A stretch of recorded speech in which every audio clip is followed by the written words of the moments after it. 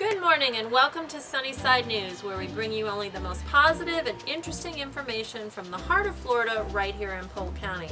Sunnyside News is sponsored by Nature's Place, home of the Key Network and Speech Therapy Services.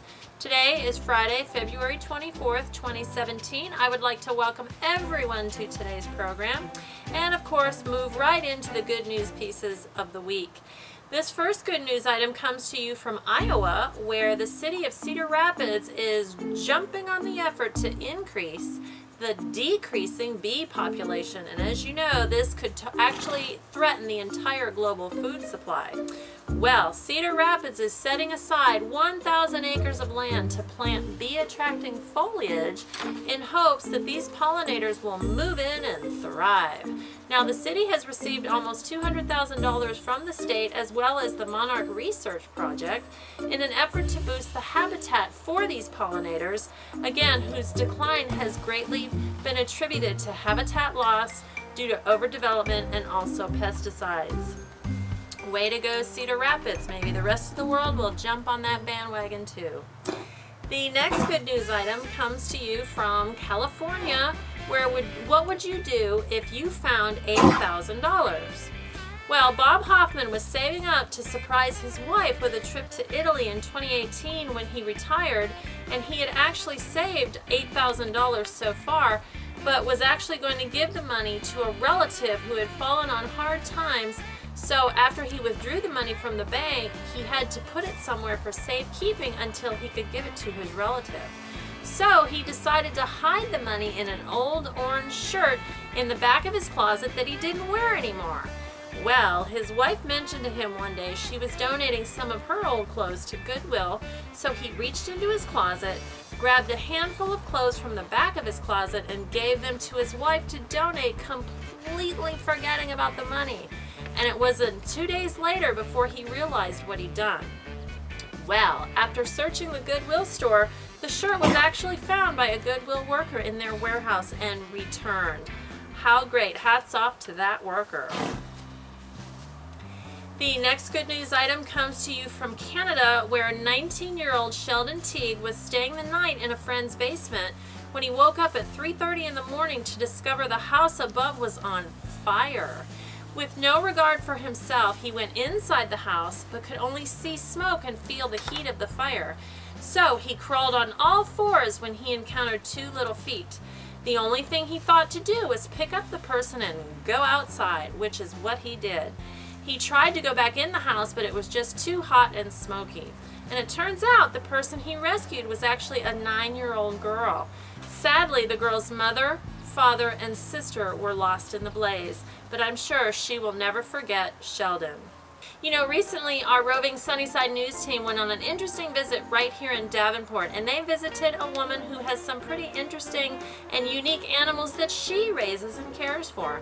I would like you to meet Suzanne Storm. Again, she lives in Davenport, and her fur babies are a herd of alpacas.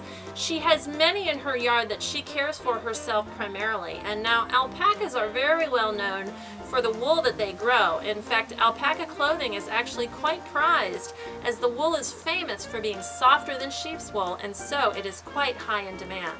Now, as far as alpacas being a good pet choice, it must be known that the animals can take some time to warm up to human contact, unlike our canine and feline popular fur babies. But once they become familiar with people, they can be quite sociable. But more on their terms, and I might say not unlike cats, I might add. Now Suzanne is the primary caretaker of her alpaca family and she says that if you would like to get to know them you are more than welcome to volunteer as a caregiver because she can always use an extra set of helping hands. I know what that's like.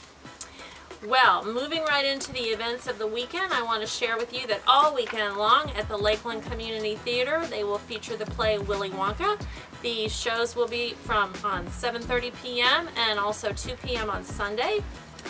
You can get further information by calling 863-603-7529.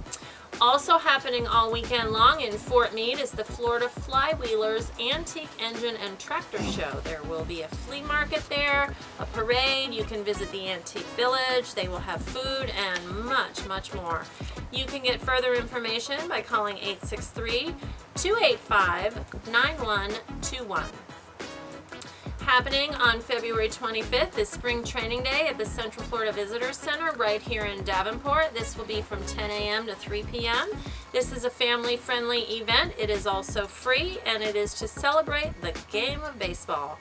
You can get further information by calling 863 420 2586.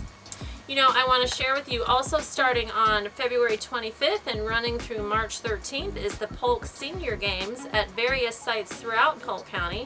There will be such events as basketball, bowling, dancing, swimming, skeet shooting, and much, much more.